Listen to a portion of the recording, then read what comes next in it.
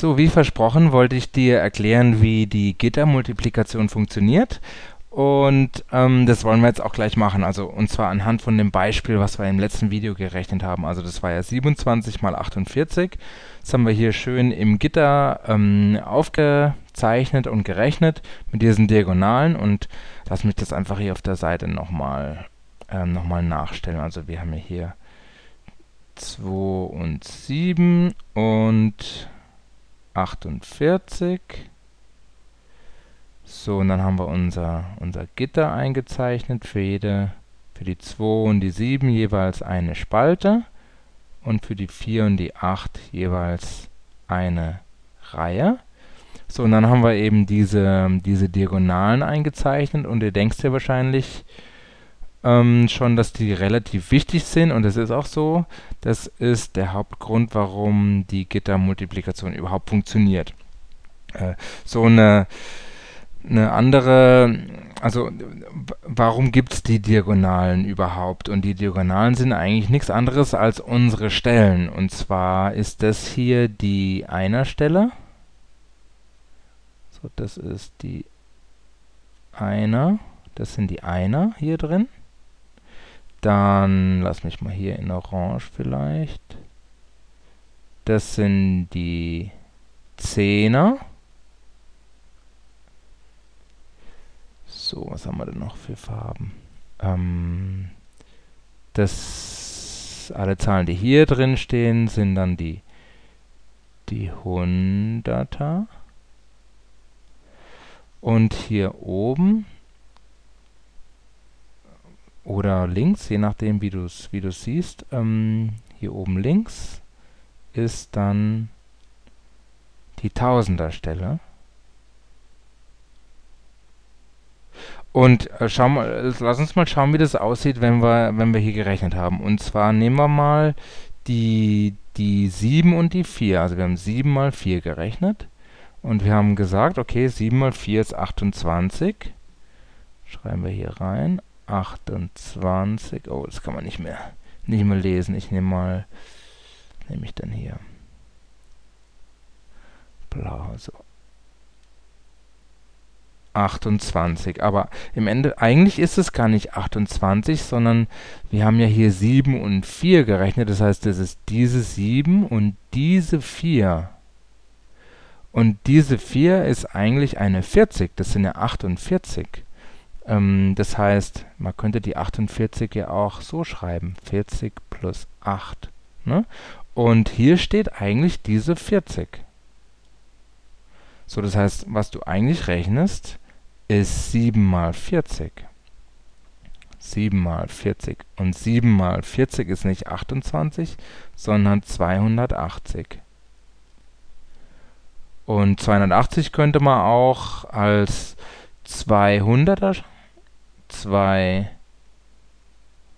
so machen wir mal, schreiben wir mal so 100er und 8 Zehner schreiben, stimmt's? Genau, und, und genau das steht hier auch drin, nämlich in der 10er Spalte sind 8, also 8 Zehner und in der 100er Spalte sind 2, also 200er. Und das sind unsere 8, 280, 7 mal 40. So, und das genau das gleiche ähm, ist so auch passiert für ähm, die 2x4. Äh, für die 2x4 eigentlich ist es ja 20. Jetzt lass mich nochmal eine andere Farbe nochmal nehmen. Es ist ja hier die, diese 2 von der 27, das ist eigentlich eine 20. Das, das hier ist eigentlich eine 20. Was wir eigentlich gerechnet haben, ist 20 mal 40. 20 mal 40. Und 20 mal 40 ist 800. Das heißt, ähm, das sind 800er. Und genau deshalb stand hier auch, was wir gerechnet haben, ist 2 mal 4 und wir haben hier reingeschrieben 0 und 8. Und äh, die 8 steht hier drin, weil das sind genau diese 800er, die 8 in der 100er Spalte und 0 in der 1000er Spalte, also 800er. So, und 7 mal 8 hatten wir eingetragen als 56. 7 mal 8, das sind jeweils die Einer von hier oben, das heißt, das sind auch wirklich 56, das sind 6 Einer und 5 Zehner, ja, die 5 steht hier in der Zehnerspalte. Und 2 mal 8 ist eigentlich, lass mich nochmal eine andere Farbe nehmen. Was nehmen wir denn hier? So, nochmal hellblau. Ist eigentlich 20 mal 8. Oder rechnen wir jetzt erstmal unsere 2 mal 8. Was hatten wir geschrieben? Wir haben gesagt, das ist 16 und haben jetzt 16 eingetragen. Aber eigentlich ist es 20 mal 8 und 20 mal 8 ist 160. 160 ist eigentlich nichts anderes als 6 10 und 100er. Und genau so steht es hier auch drin. So, und ähm, du siehst also in der Gittermultiplikation ähm, hast du eine relativ leichte, einfache Methode, äh, mit der du es schaffst, dass alle Ziffern in der richtigen Stelle ähm, äh, aufgeschrieben werden können und dort einsortiert werden können. Und ähm, wenn du dann die Multiplikation im Gitter abgeschlossen hast, kannst du alles zusammenzählen. Und das machst du dann, wie im letzten Video auch schon erklärt, einfach pro Diagonale. Das heißt, zuerst rechnen wir alles, was in der einer Diagonale zusammen äh, steht, zusammen. Hier steht nur die 6, das heißt, das waren die 6. Und dann rechnen wir alle Zehner zusammen. Das heißt, eigentlich steht hier 60, 50, 80. Ähm, was wir zusammenrechnen, ist jetzt die 6, die 5, die 8 für die, für die 10er Diagonale oder die 10er Spalte. Und das sind 19. Also, was wir geschrieben hatten, waren 9 und 1 gemerkt in die 100er Spalte. Aber 19 ist ja nichts anderes als 9 Zehner und 100er. Deshalb macht es auch Sinn, dass der 9er hier in der 10er Spalte bleibt und die 1 hier in die 100er Spalte wandert. So, und jetzt rechnen wir alle 100er zusammen. Das ist 1 plus 1 ist 2, plus 8 ist 10, plus 2 ist 12. Hatten wir so aufgeschrieben. 2 und 1 gemerkt. Und du siehst schon, das heißt 12 ähm,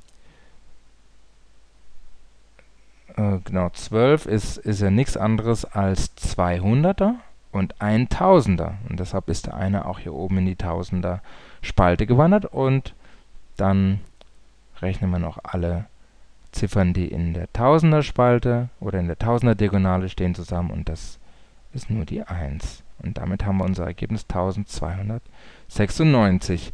Ich hoffe, das hat jetzt äh, schon ein bisschen Sinn gemacht. Ähm, also ich denke, im Wesentlichen ist es, ist es, ähm, ist die Gittermultiplikation hilft einem einfach, dass alle diese Zahlen in die richtigen Spalten einsortiert werden und dadurch bleibt das alles relativ kompakt.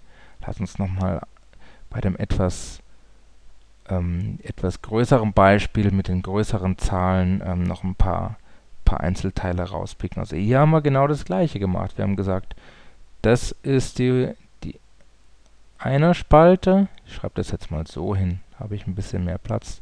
Das ist die 10er Spalte. Das war die 100er Spalte.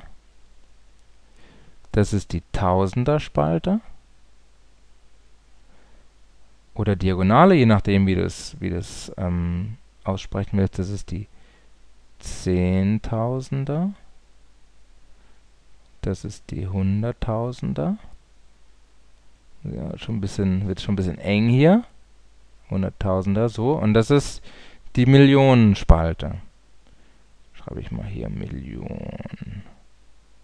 So, und genauso kann man das dann auch lesen. Das heißt, was wir ähm, was wir hier gerechnet haben, ist zum Beispiel 9 mal 7. 9 mal 7 ist 63, das heißt 3 Einer und 6 Zehner.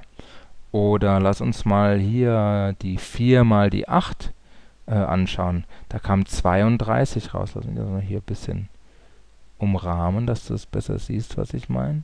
Hier kommt 32 raus. Aber was wir eigentlich gerechnet haben, waren 400 400 mal, also diese 4, 400 ist es ja, und 787, also mal 80. Also eigentlich haben wir gerechnet 400 mal 80.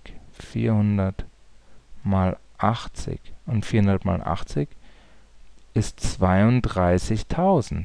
So, und 32.000 ist nichts anderes als ähm, 2000er Die stehen also hier, die 2 in der Tausender-Spalte und 3 Zehntausender. Das ist die 3, die hier in der Zehntausender-Spalte ähm, steht. So, ich hoffe, das macht für dich einigermaßen Sinn.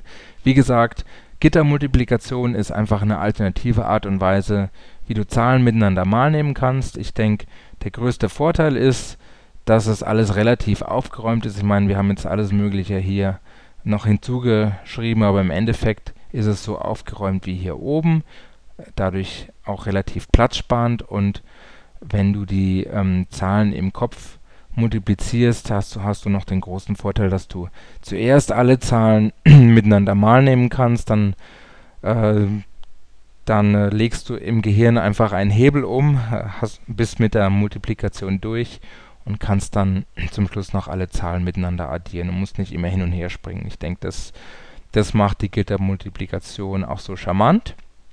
Und ich hoffe, du hast damit viel Spaß. Ähm, probier einfach noch ein paar weitere Übungen aus.